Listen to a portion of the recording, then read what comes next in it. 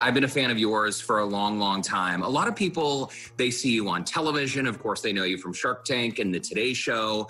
Let's go back, though, to before you became this self made businesswoman. A lot of people might, might not realize that uh, in your 20s, you were really hustling, working as a waitress in a diner.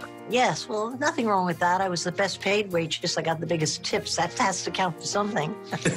but I really had my first lucky break uh, working as a waitress, which was my 22nd job, as I had worked since the time I was 11. Uh, and in that particular job that night, a man walked in, ordered a cup of tea, and he became my first boyfriend.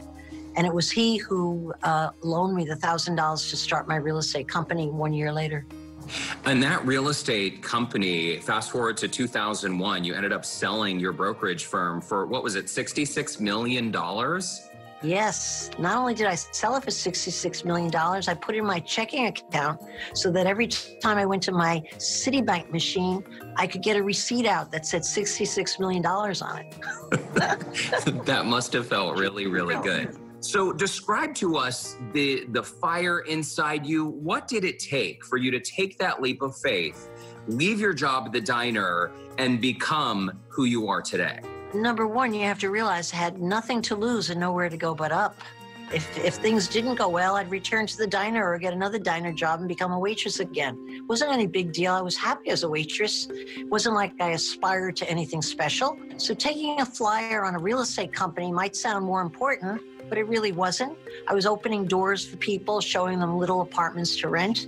And uh, so one job seemed pretty much like the other until I realized the very important difference was I was working for myself. I didn't have a boss. And if I was motivated before, without a with a boss on my back, I sure was motivated when I was the boss. And I realized I never wanted to work for anyone again. That was that was paramount to my success, knowing that I was a phenomenal boss very empowering, I can imagine. Of course, Barbara, over the last few months, we've seen so many small businesses, micro businesses really, really struggling. We see it right here in Houston. You're doing something that's really cool. You're offering this uh, seminar that's free for anyone who wants to tune in and get some of your sound business advice.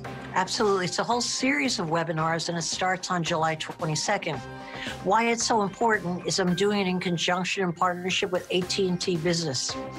I've always learned in my life that if I had the right partner in anything, I could accomplish anything. I never worked alone. Anything I ever did, I had the right partner who had an opposite skill set to me.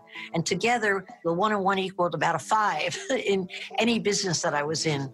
We're going to teach people what they got to do to get their head on straight and what they have to do to go back to their workplace and really get their engines going and what steps they have to make to make the business bigger and stronger so that when they come out of this thing, whenever the thing ends, and none of us know that, they're going to have fewer competitors and big be a bigger business than they started off with. But it takes a lot of work and it takes a lot of smarts, and we're hoping to provide all that smart thinking.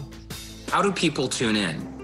It's so easy. Uh, it kicks off on, on Wednesday, July 22nd. You go to 888barbara.com to register. You get all the information that you'll need just to get right on. And Barbara, just any parting words of advice for some of these business owners out there who really are struggling to find a light at the end of the tunnel right now. It sounds like you have a great attitude, and even during your business setbacks, that you were able to just sort of bounce back and know things would get better. But what sort of parting words do you have? The only thing you're lacking in a bad time, if you're in small business and you want to get ahead, is the attitude or belief that that's really the way it is. And I'm a walking, talking example of exactly that is the way it is, because that's the way business life is. The worst times are the best times. And if you can get through it, you come out of it and you become bigger and stronger with less competition than you ever dreamed would be possible. And so you have to bear in mind the fruits of that energy now, what you're running for uh, rather than thinking, let me wait it out. Oh my gosh, poor me, poor me. I've also noted that the minute an entrepreneur thinks, oh, poor me, it's over. You can't blame your problems on someone else or shirk that responsibility. You got to get busy and get going. And so it's really a headset thing. Barbara Corcoran, you are a fighter, you're an inspiration, you got a lot of fans out there, and thanks so much for doing what you're doing to help these small businesses get back on their feet. My pleasure. Thanks for having me. What an incredible woman with an incredible story. In case you do uh, want more information about those webinars, you can visit our website, houstonlife.tv. Just look for the Seen on Houston Life section. We'll be right back.